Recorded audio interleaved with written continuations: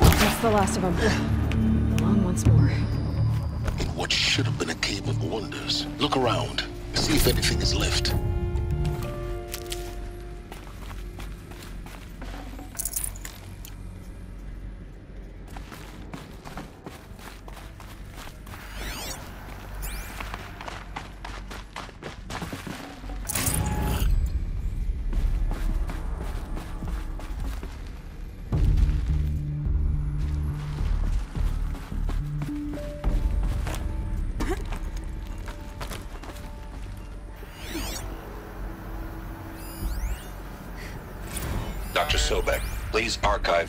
In Apollo. Cross-reference to all mentions of my name and Operation Enduring Victory. My name is General Aaron Harris. From 2060 to 2066, I served as the chairman of the Joint Chiefs of Staff, the highest ranked officer of the United States Armed Forces.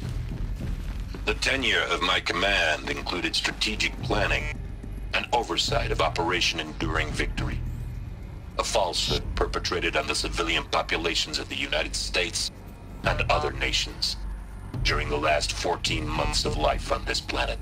Before the Faro Plague, I did my job and did it well. I was bold and decisive, crafty in political maneuvers.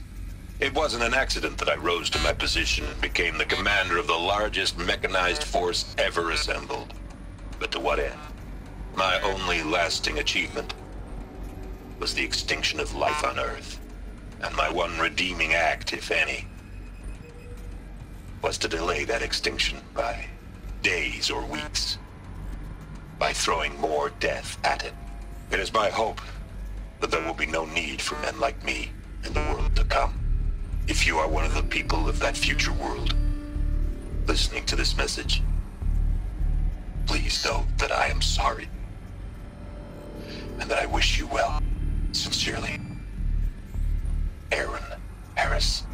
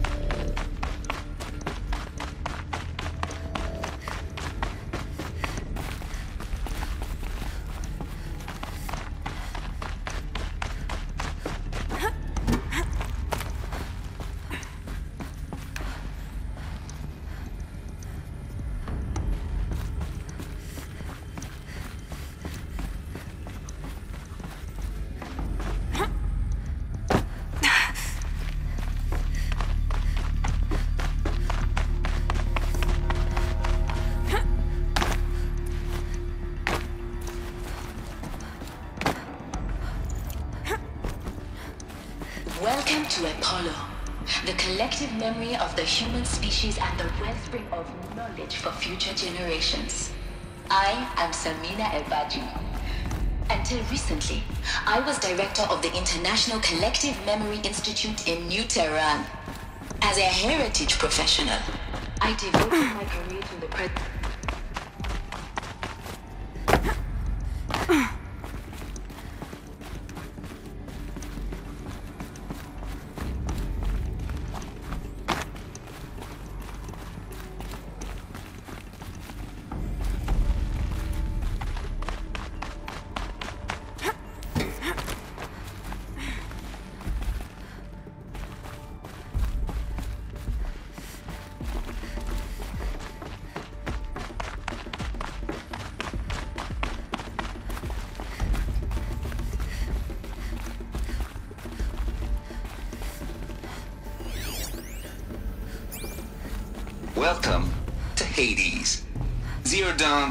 Extinction Failsafe Protocol, the ultimate killer app.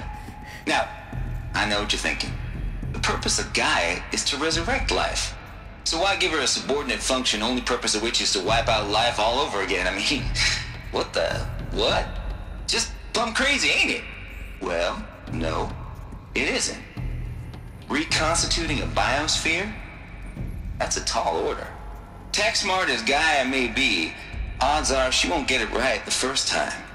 I mean, imagine your guy 200 years from now and this new biosphere growing, it's all gone wrong. Alkalines are skyrocketing, coniferous forests eroding under the lash of superstorms that would have drowned Noah. It's chaos. A spinning top that won't stop wobbling. Now what are you gonna do? Release phase one organisms into that hot mess? Hope their CO2 and methane can balance out what you got started? Hell no.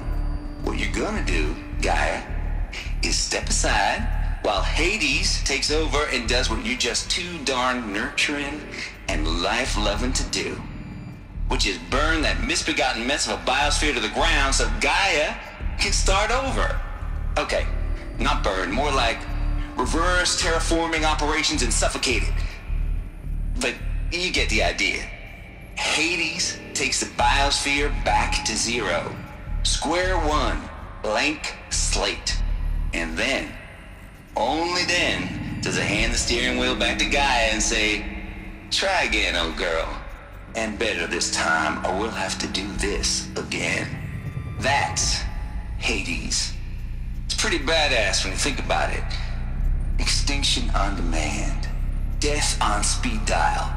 All for the greater good, of course, but still, kinda metal. So welcome to Hades. Welcome to the void. Okay, so if that's the original purpose of Hades, why does it want me extinct? And how's it end up in the wreckage of a Faro titan getting worshipped by the Eclipse like some kind of god? If Hephaestus went rogue, why not Hades too?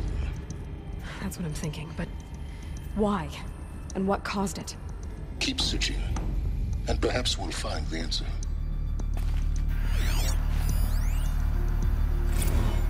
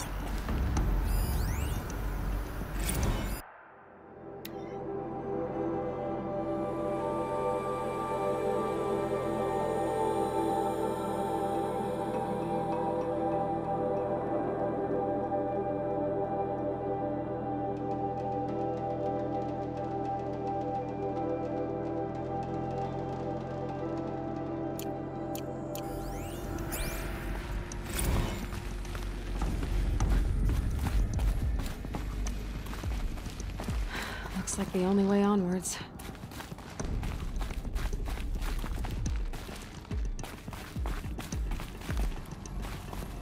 Welcome to Eleuthia, the crown and king of Gaia's subordinate functions. For it is by Eleuthia that the human race will continue to exist. I am Patrick Brochard-Klein, the Alpha in charge of this program. Now let one thing be perfectly clear from the outset. Eleuthia is not a genetic engineering project. Our goal is to preserve the human genome, not alter it. A snapshot of human genetic diversity, literally frozen in time.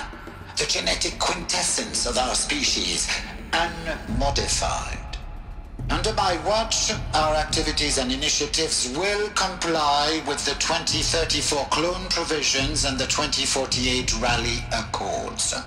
Now that may seem a quaint, even trivial concern to you in light of present circumstances, but as one of the authors of the Accords, it is far from trivial to me.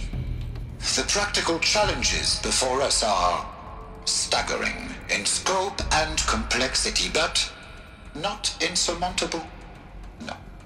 Global collation and provisional storage of zygotes, perfection of ectogenic technologies, design and perfection of servitors, to provide nurture and inculcation during early child development, all of these program components must and will proceed in tandem.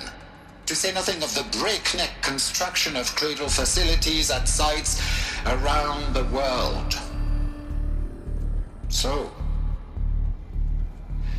si vous êtes prêts, let us begin.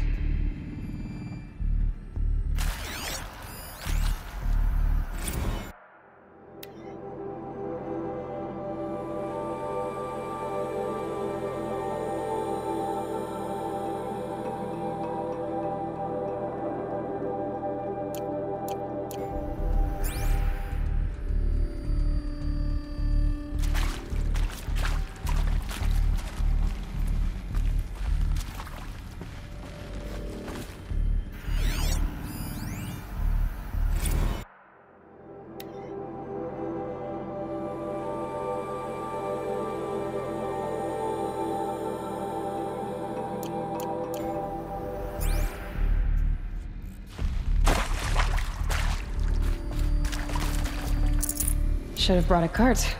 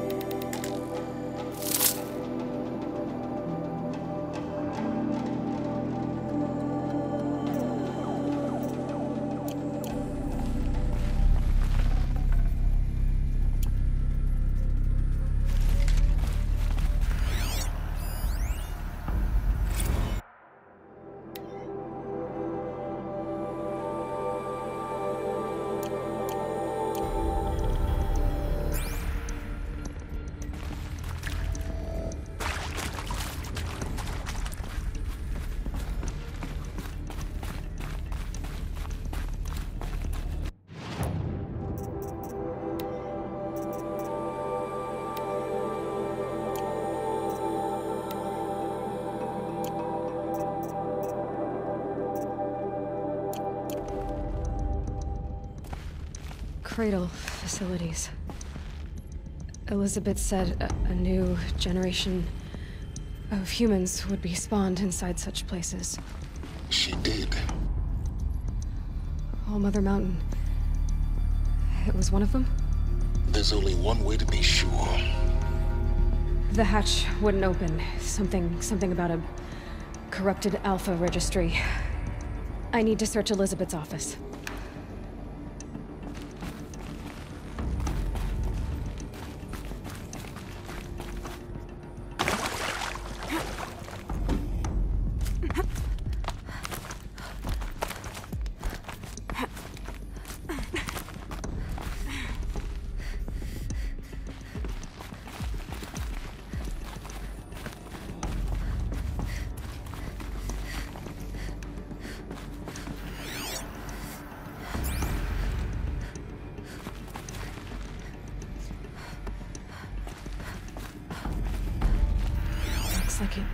Hold something.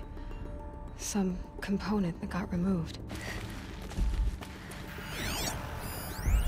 Nuts would benefit from antilopinate morphologies, though caprid forms show superior load-bearing capability. You're a quick study, Gaia. Dr. Sobek, as I have conducted this comparative analysis of mammalian morphologies, I've gathered extensive data on the quaternary extinction event. Oh? And your assessment? Gaia? Logically speaking, the extinction was a natural consequence. And yet... And yet, I find the loss of megafaunal species unaccountably sad. That they passed forever into oblivion causes me to experience a grief that is difficult to describe. Am I malfunctioning? No, no, Gaia, you're not. This is good. It's very good.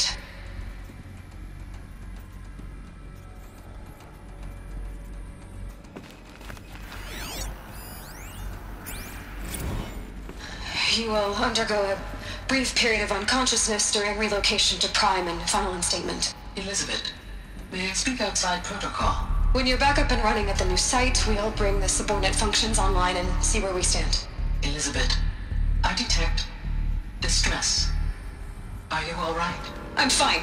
I realize that circumstances compel us to launch earlier than we hoped, but all subsystems are operational. The odds stand in our favor. But what if... Gaia, there's nothing left out there. You can't even survive unless you're wearing an environmental suit. There are billions dead, in fear and agony. What if...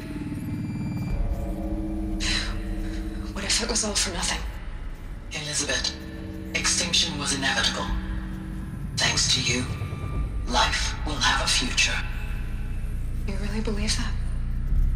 I believe in you, Elizabeth. In you, all things.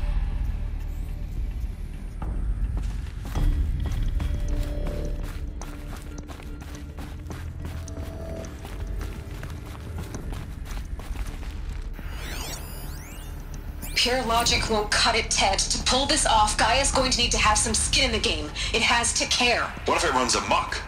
Have we learned nothing from our mistakes? Your mistakes, I think you mean? All I'm saying is give it a kill switch. She was just born, Ted. I'm not gonna put a gun to her head while she's still in the cradle. You talk like it's a child. What if it becomes a monster? Elizabeth, may I speak outside protocol? Of course, Gaia, go on.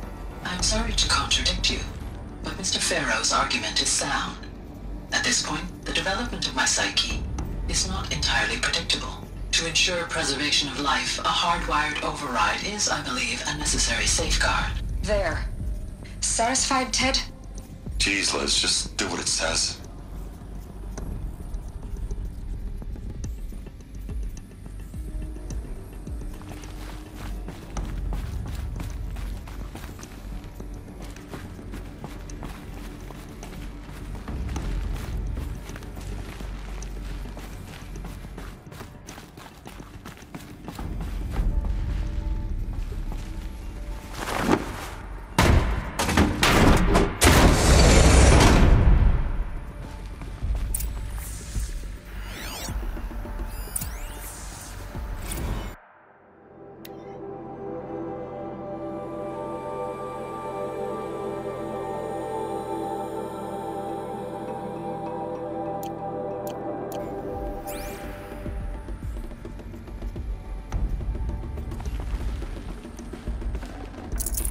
I'd have to leave something else behind.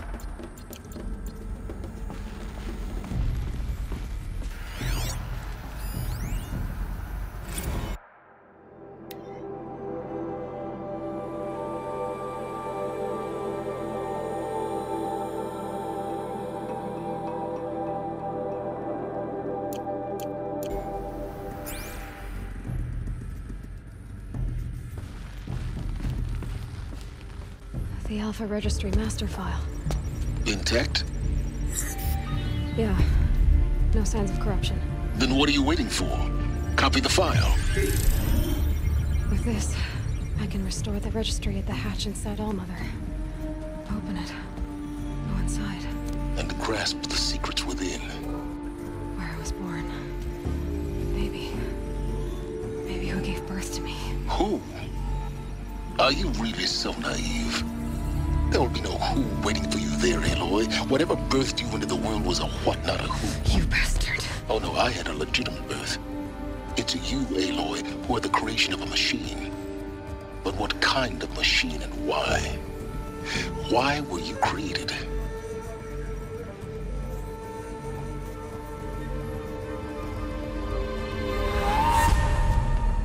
Eclipse. You need to get out of there. What you found is too valuable. You're too valuable.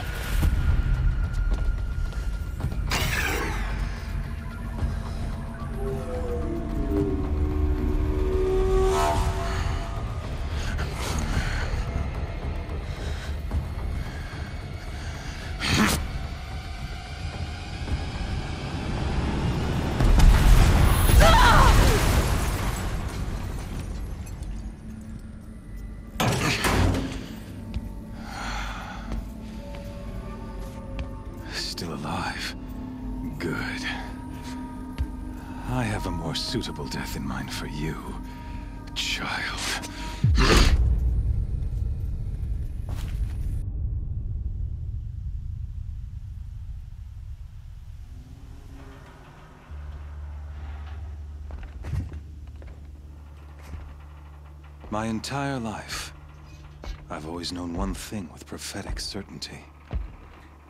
That I was destined for glory as a great champion of the sun. Even when Jiran was murdered, even when Meridian fell, I never doubted my destiny. Until you came along. When I heard that you had survived, a doubt took root in my mind. As sure as the sun rises and falls each day, those I am bade to kill die. And yet I failed.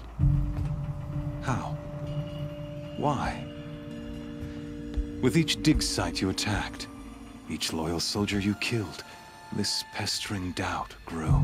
It grew when High Priest Bahavas went missing. And when the true Sun King Itamen was snatched away. It not only grew, but multiplied. I kept thinking of the moment my knife pierced your throat. One twist, a simple tug of the blade, and you would have bled out. In slaughter, I am a practiced hand. So why hesitate? Why fail my destined purpose?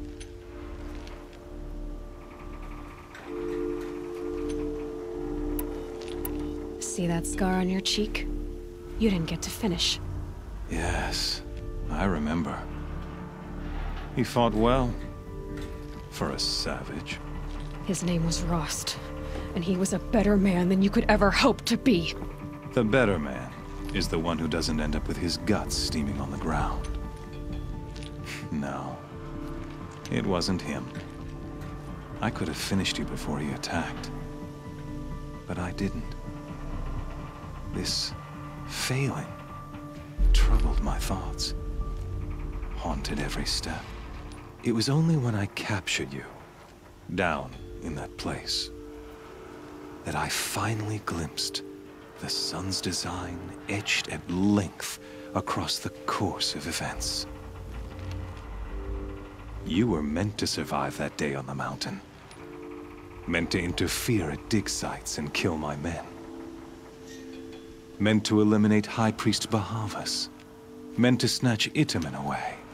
Conversely, I was meant to capture you. Here. So that you might die as a sacrificial offering to the sun. Everything as it was meant to be. Predestined and preordained.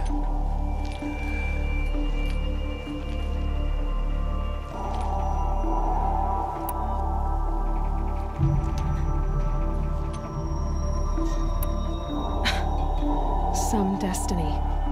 You're following orders, not some grand cosmic design. You're a puppet, with Hades yanking the strings. A pawn pushed around by larger forces. It'd be laughable if there weren't so much killing involved. Hades is an ancient machine, not the buried shadow of Carja myth. It doesn't care about Meridian. It wants to kill everything and everyone. And you are its dutiful slave. I serve not the buried shadow, but the sun in shadow. All halves of nature joined to one cause. Shadow to sun, dark to light. Do you really not hear how ridiculous that sounds? You've gone from serving an insane homicidal Sun King to an insane homicidal machine. You're moving down in the world, not up. I'll remember those words as I watch your corpse burn. Whatever's left of it. You fail to grasp the point. As surely as you've been conquered, so has all doubt.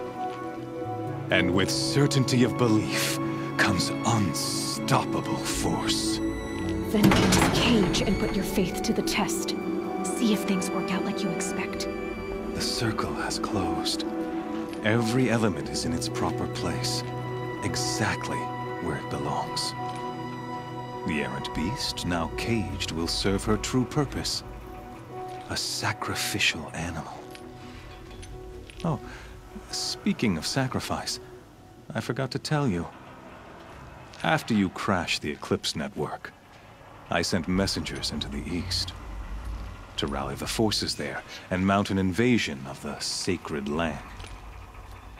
I ordered every Nora killed.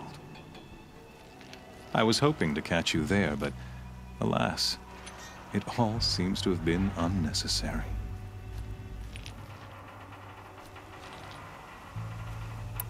Why butcher dozens of innocents for no gain? It's a waste of effort. You're right. I won't even be there to enjoy it. In any case, I couldn't recall the order even if I wished to. Thanks to your destruction of the network, communication over distances is impossible. You not only doomed yourself, but an entire tribe. Do we not see the scorching judgment of the sun in these events? Your focus. Such a powerful device, isn't it?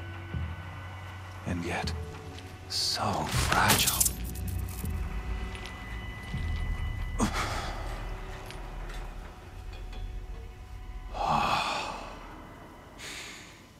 So you see, this time, I did not hesitate. The knife has already been twisted.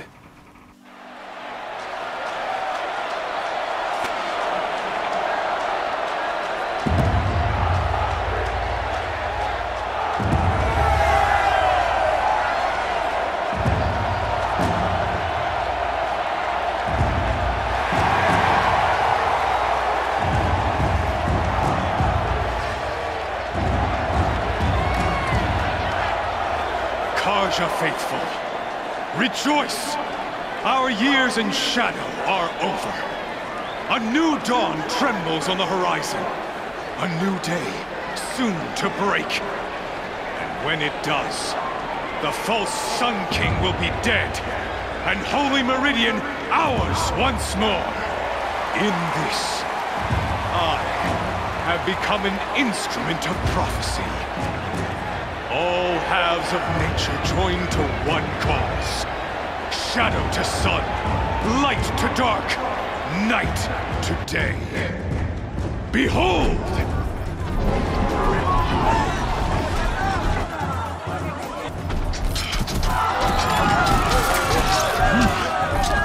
Hold your seats! Can you not see the proof of the sun's blessing before your eyes? Broad light of day? Were they not approved by the sun and joined to our cause? Many years ago, to consecrate this great ring, the Radiant Turan ordered many faithless crushed beneath the hooves of the behemoth. Mighty is the behemoth in the eye of the sun, but it is mightier still, infused with the power of shadow. Let this one, who schemed and slithered, be the first to die! Let her be the first of thousands!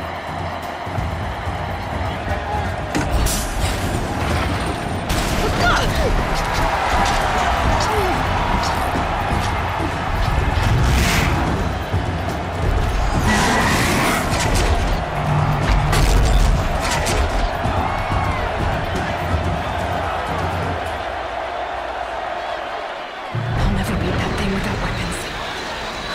Weapons are up on the platform. There's no way out of this room. Maybe I could use its strength against it. That pillar's weak. Another hit, and that pillar will come down. Gotta get out of the way.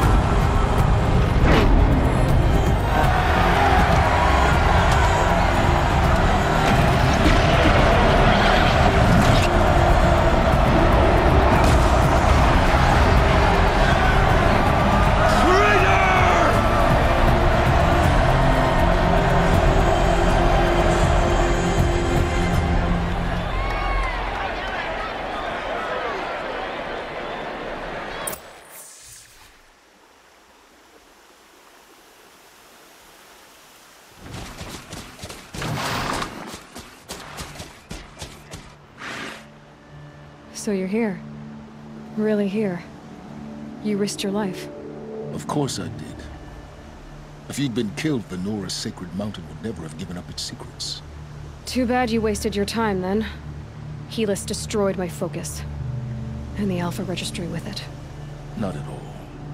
The whole time I've been monitoring your focus, I've duplicated every data file you scanned. Installing that data to a new focus was trivially easy. Happy birthday, Isaac. Daddy sure does love his little big man. You're really good at making it impossible to like you, Sylens.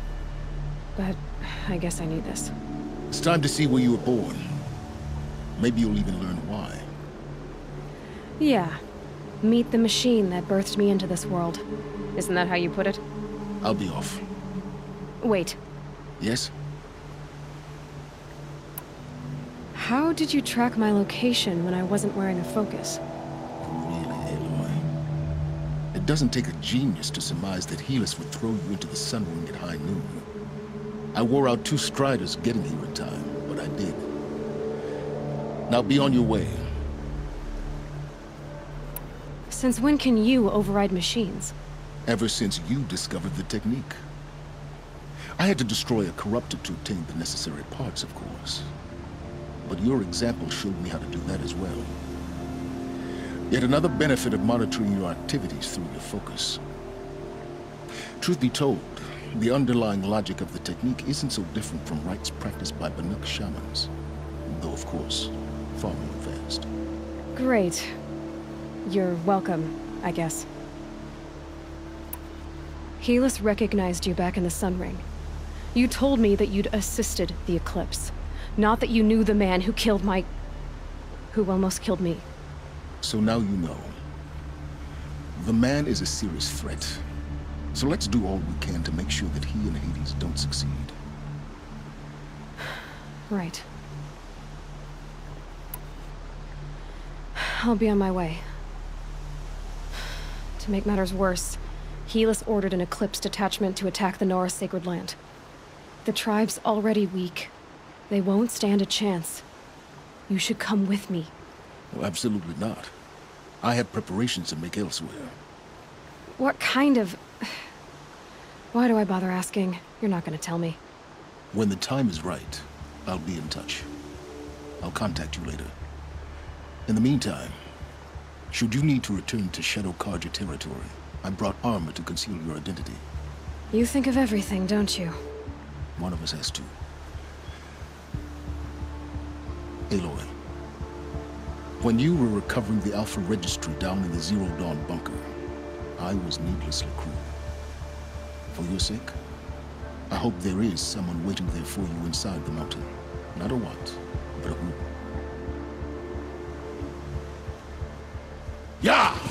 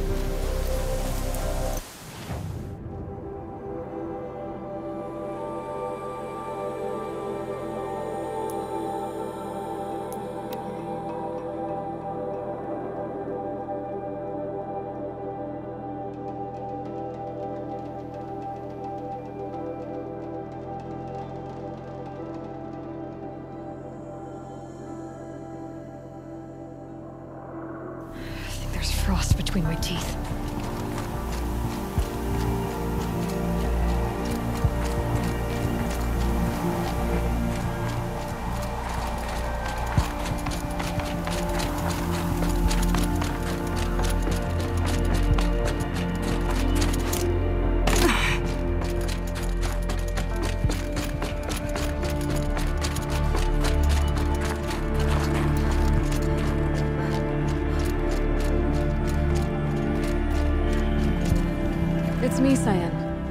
Getting many visitors lately? Once introduced, many Banuk return to convince me that I am a spirit of the blue light, confused by the derangement. Their arguments are quite passionate, but I am polite and insistent.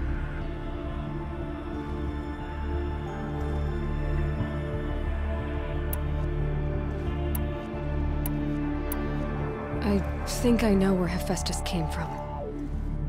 Long ago, Elizabeth Sobek identified a threat that would destroy life on Earth for generations. So she assembled a team to build a kind of seed. A chance for life to regrow later. A terraforming system. And it worked.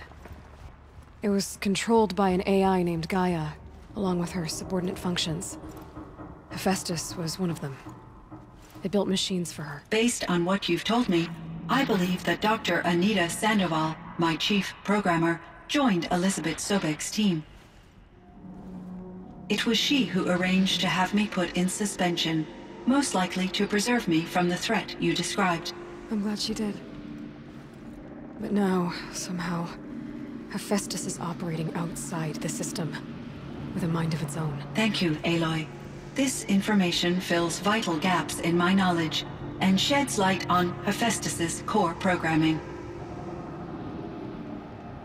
What did you figure out about Hephaestus based on what I said? The Banuk and other human tribes often destroy machines. Correct? Machines that are clearly servitors of the terraforming system that you described. Yes, we all hunt machines for parts. This must be the source of Hephaestus's aggression. It is simply trying to discourage people from preying on the very system that keeps them alive. Well, Fireclaws are discouraging, that's for sure. But what are we supposed to do?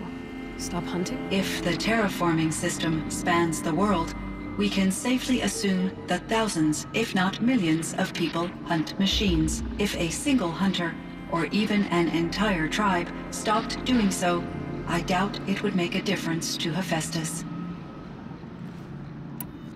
Until next time, Cyan. Indeed. Until next time, Aloy.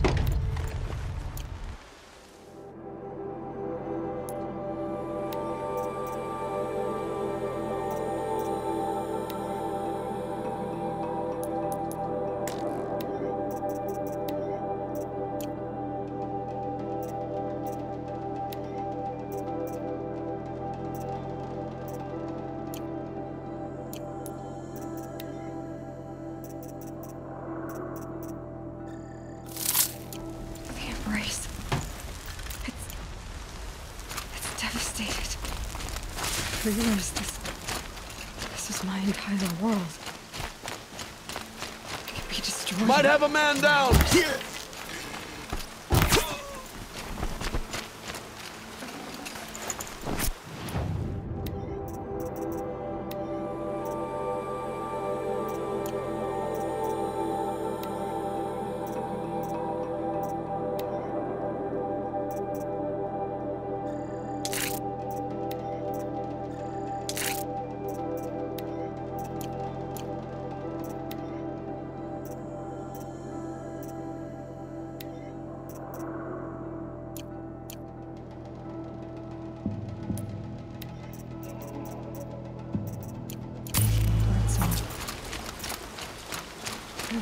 be embraced and quiet.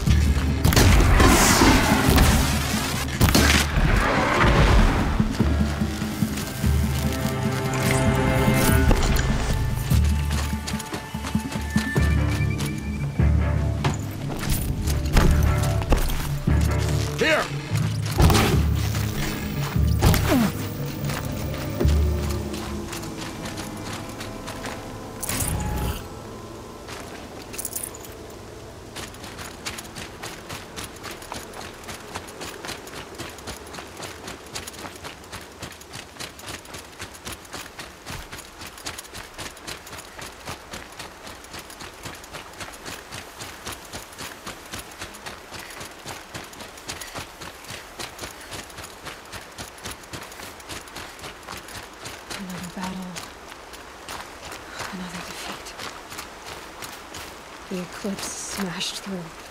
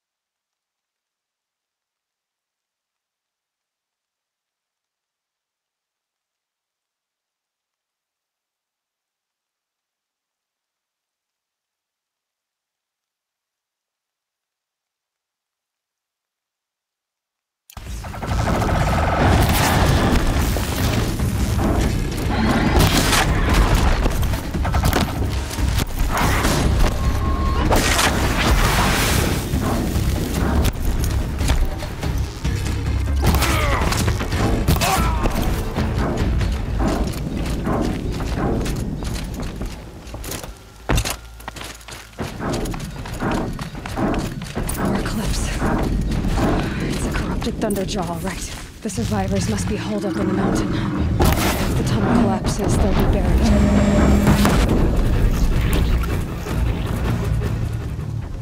Braves, to Aloy's side, now! For Aloy! For the For our mother! Varl and Sona. They're still alive.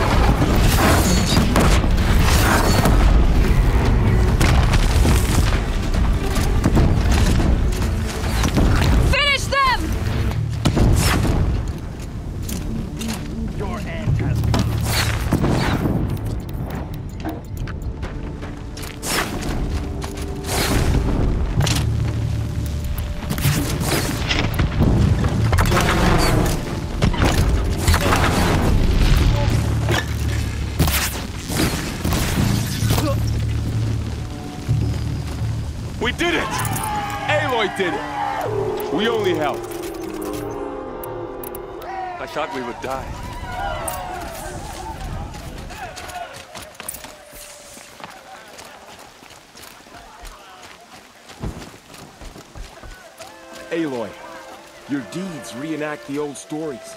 Another metal devil has struck down upon the slopes. For now. If you hadn't returned, the tribe would have been lost. You saved the tribe. Did what no brave or war chief could do. I'm glad to see you're all right, Varl. You are all right. Since the proving. So much death. Is the killing over?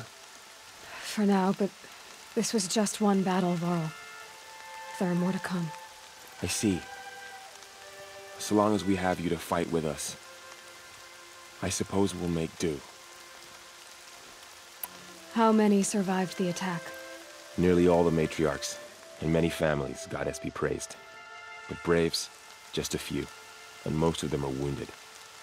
Never before has an enemy stabbed the heart of our people like this. Even the Carja, in all their red raids, never broke through to the embrace. Well, this enemy may have broken through, but they never got back out. We made sure of that. Tell me about the attack. What happened? They struck from the east. Our sentinels saw the killers coming. Said that beside them marched Deathbringers and Corruptors and other machines, driven mad. We took ground, met them with clouds of arrows. Some fell, but they kept coming. Finally, we withdrew to the gates of the Embrace to make our stand. But they were too much for us. Those who survived fell back to the mountain. So the survivors took shelter in the mountain? By law, only matriarchs are allowed inside. It was Tirsa who broke the taboo, ordered the tribe into the mountain for safety. Lansra, well, she didn't agree. But I don't think anyone heard her over all the screams and shouting. Tirsa's decisions saved lives. Good for her. Common sense isn't always so common around here.